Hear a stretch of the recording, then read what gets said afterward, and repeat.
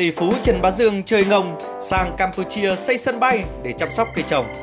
Bỏ ra hơn 20.000 tỷ đồng vào công ty nông nghiệp quốc tế Hoàng Anh Gia Lai của Bầu Đức, một doanh nghiệp bên bờ phá sản với khoản nợ ngân hàng lên tới 18.000 tỷ đồng. Ông chủ tịch Thaco Group Trần Bá Dương bị nhiều người cho là bị điên bởi cả đời ông gắn bó với lĩnh vực sản xuất ô tô. Ông có học trồng trọt, chăn nuôi ngày nào đâu mà điều hành một công ty sở hữu gần 50.000 hecta đất nông nghiệp ở Lào, Campuchia và vùng Tây Nguyên của Việt Nam. Bản thân Bầu Đức cũng chia sẻ, chính anh Trần Bá Dương là người đã cứu Hoàng Anh Gia Lai. Nhờ anh Dương ôm khối nợ mà Hoàng Anh Gia Lai mới có thể thoát khỏi khó khăn. Thậm chí có ý kiến cho rằng ông Dương bị một sức ép chính trị không nhỏ từ các vị lãnh đạo nhà nước cấp trung ương để giải cứu Bầu Đức và giải thoát cho hệ thống ngân hàng. Tuy nhiên là một nhà kinh tế kiệt xuất, ông Trần Bá Dương lại có cách nhìn khác. Ông nói, việc tham gia vào lĩnh vực nông nghiệp thì ngoài yếu tố cơ duyên, tôi tiên liệu được tiềm năng lâu dài. Khi dự phần vào sản xuất nông nghiệp, tôi cho rằng tập đoàn Thaco không chỉ đang mở rộng thêm một ngành nghề kinh doanh mà đồng thời nó cũng đóng góp cho đất nước.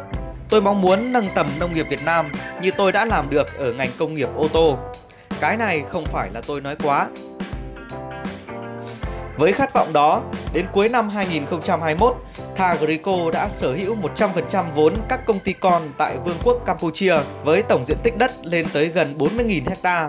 Đến nay, công ty đã trồng được hơn 16.000 ha cây ăn trái các loại, trong đó có hơn 10.000 ha chuối, 4.000 ha xoài, 300 ha dứa giống và hơn 2.000 ha cây ăn trái khác.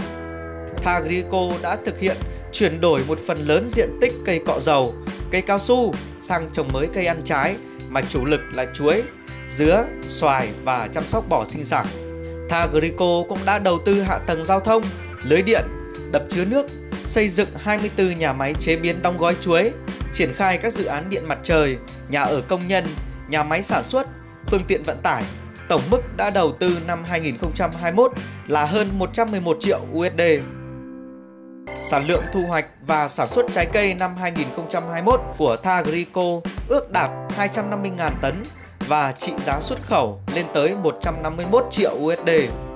Trong năm 2022, công ty này tiếp tục chuyển đổi và trồng mới cây ăn trái kết hợp nuôi bò sinh sản, bò thịt theo mô hình bán chân thả, sản xuất phân bón hữu cơ tại chỗ để cung cấp cho các nông trường trồng cây ăn trái.